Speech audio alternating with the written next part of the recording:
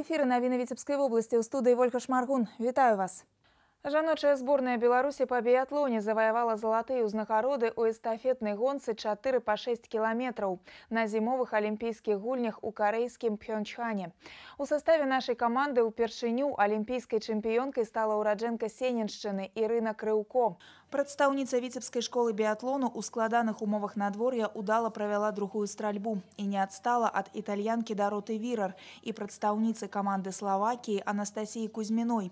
Старшыня віцебскага аблвыканкама Мікалай Шарснёў і старшыня прадстаўніцтва нацыянальнага алімпійскага камітэту Беларусі ў віцебскай вобласці Уладзімир Цярэнціў павіншавалі нашу зямлячку Ірыну Крыўко, яе калег па залатой камандзе і трэнераў з яскравым выступленнем і заслужанай узнагородой.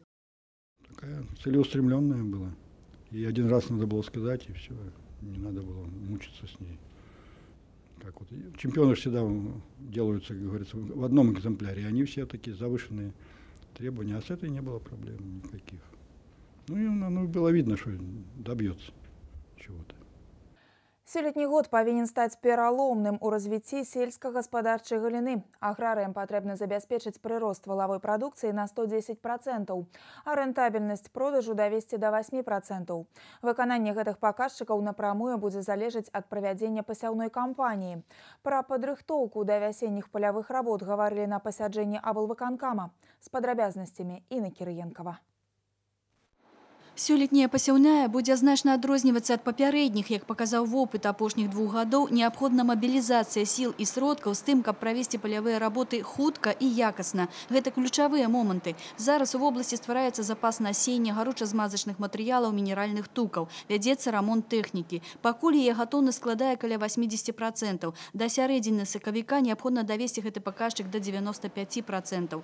Аграры робяць стаўку на энерганасычаную тэхніку, якая дазваляе апрацоўваць апрацоўваць до 12 тысяч гектараў за суткі. Таму сёлета яе набыццё ў гаспадарках вобласці будзе працягвацца. Мы в прошлом году закупили э, больше 1200 единиц новой техники.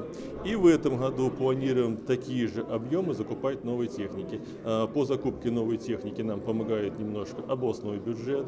Плюс мы направляем средства централизованного фонда мяса Молпрома. Ну и плюс собственные средства сельхозорганизации. Основная схема закупки это через промагролизинг, как и в прошлом году. Обнадеивает то, что еще в осень аграры в области подняли на 100 тысяч гектаров ворыва больш леташняга а значыць менш трэба будзе задзейнічаць тэхнікі на ўзворванні рыхтаваць глебу да пасяўной будуць у дзве змены для гэтага вырашаецца пытанне з механізатарскімі кадрамі якіх не хапае праводзіцца перанавучанне будуць працягваюцца рабочыя рукі з прадпрыемстваў і гарадоў нават студэнты всех привлечь а механизаторы энергонасыщенной техники, которые задействованы в пахоте и культивации, круглосуточная работа. Само по себе оно не спашется и не посеется. И если мы это не сделаем, значит вы останетесь на тех же объемах, которые ежегодно были. Задзейнічаць усе рэсурсы для правядзення пасяўной кампаніі ў аптымальна сціслыя тэрміны, пры гэтым строга прытрымлівацца структуры пасяўных плошчаў і тэхналогіі севазвароту. Такая задача пастаўлена перад кіраўнікамі раёнаў. З тым, каб атрымаць не менш за паўтара мільёна тонн збожжа. Гэта той мінімум, які неабходна забяспечыць у 2018 годзе. Открытым застаецца пытанне фінансавання. На правядзенне пасяўной кампаніі неабходна 268 мільёнаў рублёў. З улікам банкаўскіх крэдытаў уласных сродкаў сельгаспрадпрыемстваў забяспечанасць неабходнымі сродкамі складае 39%. Атрымаць недастаючыя рэсурсы сельгасвытворцам можна толькі будзе за кошт выручкі за здадзеную прадукцыю. Таму ёсць зацікаўлена сеяць больш збожжавых, каб потым рэалізоўваць лішкі збожжа па выгаднай цане і паляпшаць сваё фінансавае становішча. Інна Кириенкова, Олег Чарняк, Навины, Витебск.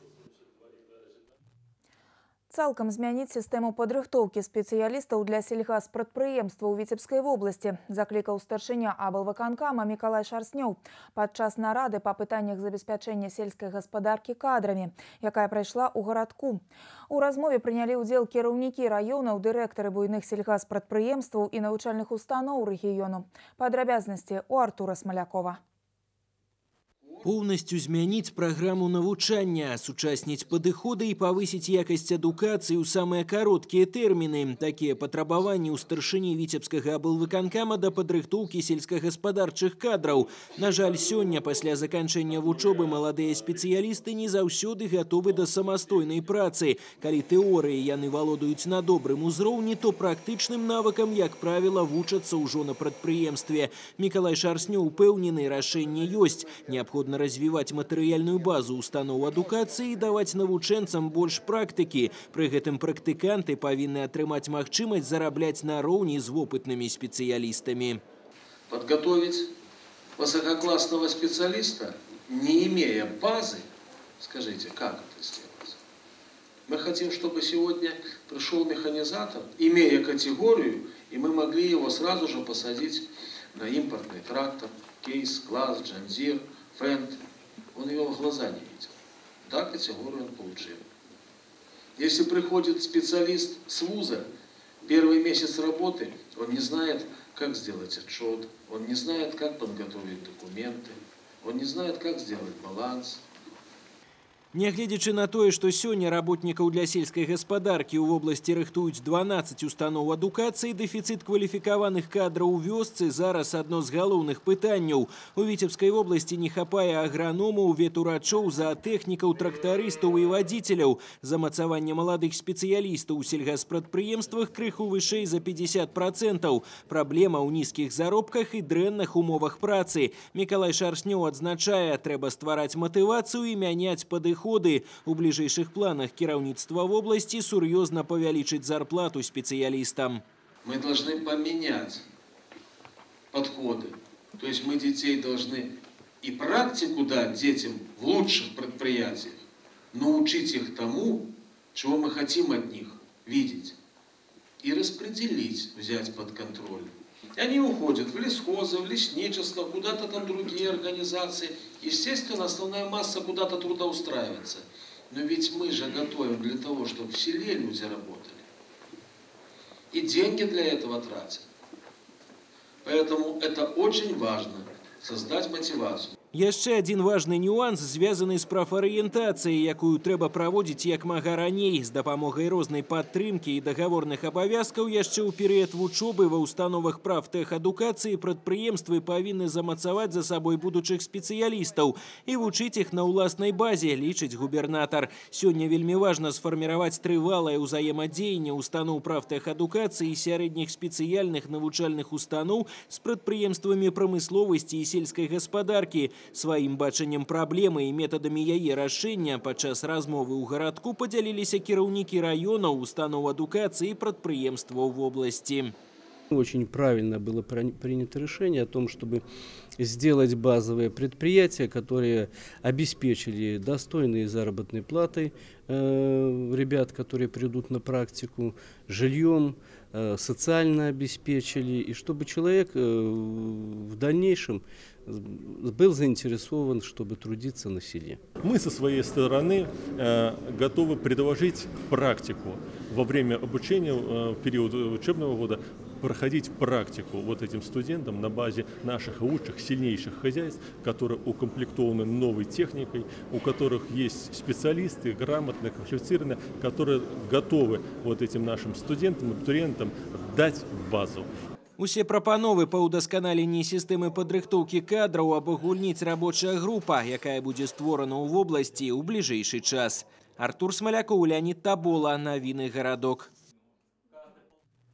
Працягваем выпуск. Першы ў віцебскай вобласці медаль 100 гадоў узброеным сілам Рэспублікі Беларусь уручылі жыхару абласнога цэнтра Алексею Михайловичу Іванову, удзельніку вялікай адчыннай вайны. Ён вызваляў ад нямецка-фашысцкіх захопнікаў горад Гродна, ваяваў у Прыбалтыцы ўсходняй Прусіі.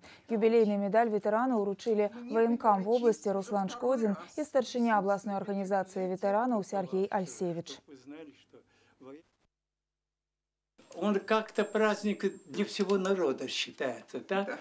Да, Если рассматривать с точки зрения 18 года, когда были декреты написаны, так, почти все население, нет такой семьи, такой семьи, что если не все служили в армии, то кто-то обязательно служил в армии. В течение всего года будут награждаться остальные категории, подлежащие награждению. Это те, кто внес весомый и значительный вклад в развитие строительства вооруженных сил, те, кто принимал активное участие в военно-патриотическом воспитании, ну и другие категории лиц. Медалі 100 гадоў узброеным сілам Рэспублікі Беларусь у Віцебскай вобласці атрымаюць каля трох тысяч ветэранаў узброеных сіл. Каманда віцебскага кадэцкага вучылішча заваявала сярэбраныя ўзнагароды на спартакіядзе сярод навучэнцаў спецыялізаваных ліцэяў кадэцкіх вучылішчаў мінскага сувораўскага ваеннага вучылішча па службова-прыкладных і масавых відах спорту. Усяго ў спаборніцтвах выступалі 11 каманд з усёй Беларусі. Тры дні хлопцы змагаліся ў ціры, спортзале, на футбольным поле і ў басейне. Нашы землякі сталі пераможцамі міні-футбольнага турніру і прызёрамі ў іншых дысцыплінах. Гэтая інфармацыя завяршае наш выпуск. Я з вамі развітваюся. Усяго добрага. Да сустрэчы.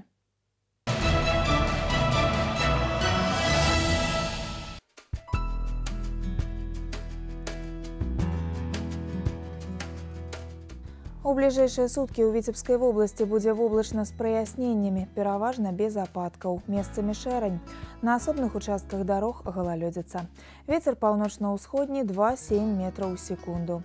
Тэмпература паветра ноччу мінус 15-20, пры праясненнях да 25 градусаў марозу. Днём ад 7 да 12 градусаў са знакам мінус. У Віцебску таксама воблачна з праясненнямі без істотных ападкаў. Тэмпература паветра ўначы мінус 21-23, днём 10-12 ніжэй за нуль.